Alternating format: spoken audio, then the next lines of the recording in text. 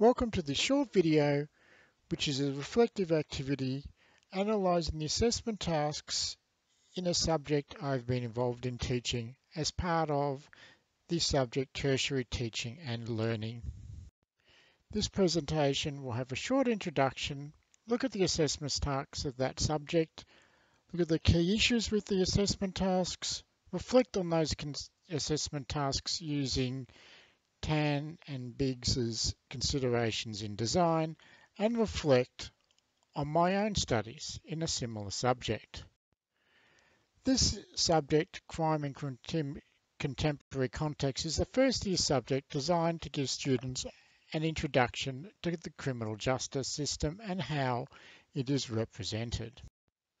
The roles in the course were the course coordinator, who is responsible for the design of the course, the assessment tasks, and providing the materials for the lectures and tutorials. The campus lecturers at each of the campuses of Mount Helen, Berwick, and Gippsland who provided a weekly lecture. And the tutor who, who provided a class each week that analysed the subject in question. My role during the course was as a tutor, and as such, I had no role in the design of the assessment tasks or the subject matter of the course. There were three assessment tasks in this subject, which were all identified within the learning outcomes. The first assessment task was a crime statistics analysis, which looked at two, two of the ILOs relating to identifying crime types and looking at the way they were measured.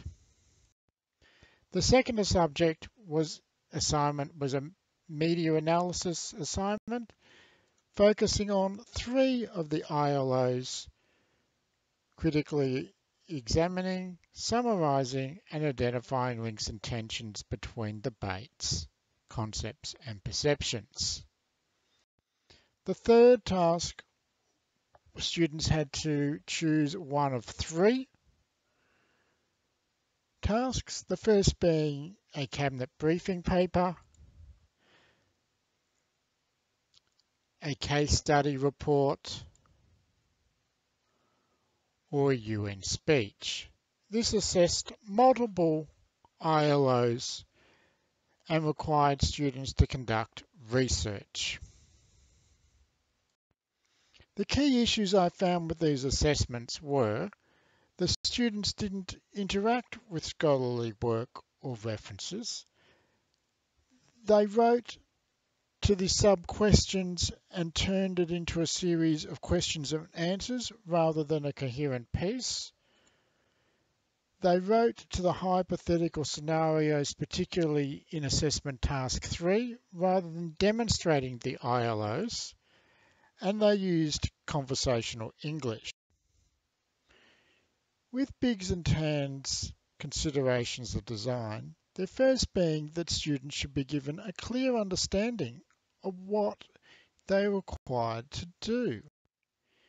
In this subject, there wasn't a rubric, rather there were marking guides, as shown on the screen now.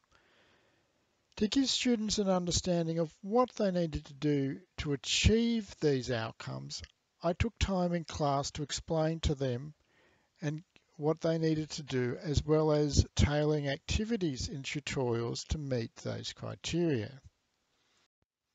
The next two considerations of design are linked. The first of these being that one assignment can assess several ILOs. And the second being that one ILO can be assessed across more than one assessment task. It is certainly true in this subject that one assessment task had multiple ILOs. However, as can be seen, there was only a small number of ILOs that were assessed across multiple assessment tasks. This mainly being the identifying of links and tensions between issues of debate, concepts and perceptions that was assessed in both assessment task 2 and 3. Assessment tasks also need to make sure that students have the time to do them and the staff have the time to assess them.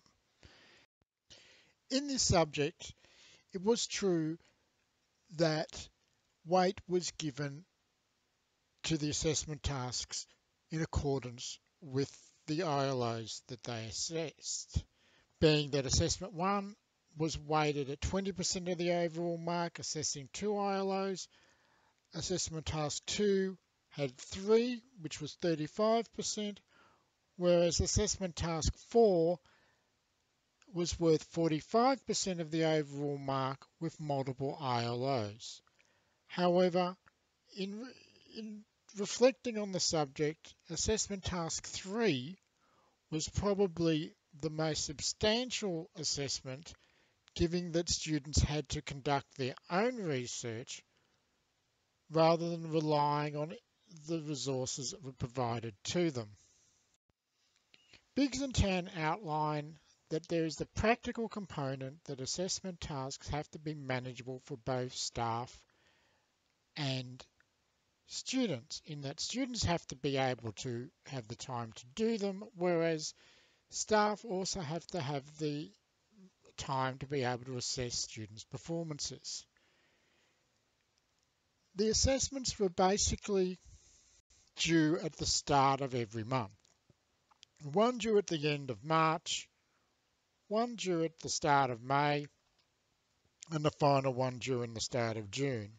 On paper, this looked really good. However, from a practical perspective, it was very difficult in getting feedback back from assessment task two in time for it to be applied in assessment task three, which was very important given that in a number of cases students failed to reference their work, which was more applicable in that link between assessment task two and three, enabling them to improve their research skills. And perhaps the three assessment tasks in this structure weren't as manageable as they seem. And this was complicated by the fact that we also had staffing shortages where I had to mark more on another class due to illness. I'm going to conclude this video with reflection on an assignment I had to do as part of my first year legal studies subject, which covered the same material as crime in contemporary contexts. This, this assignment was an essay which was reflecting on the media coverage of crime. Very much so, very much the same learning outcomes as assessment task two in crime and contemporary contexts. In reflecting on this, this was the this was the instructions we were given. There was no links to ILOs that were going to be met. There was no rubric. There was no marking criteria, just the question. So in reflection, even though I've outlined issues that were that came with this subject, the subject that I've that I taught this year, it's definitely a great improvement on the subject that I took in first year. However, I also reflected the feedback and the assignment that I wrote, and I didn't fall into any of the traps that the students did in this subject. So perhaps in trying to outline what they had to do in this subject fell into a trap of giving them too much detail where students then went and more or less converted it into a short series of questions and answers. That concludes this short video being a critical analysis of a subject I've taken and reflecting on it in relation to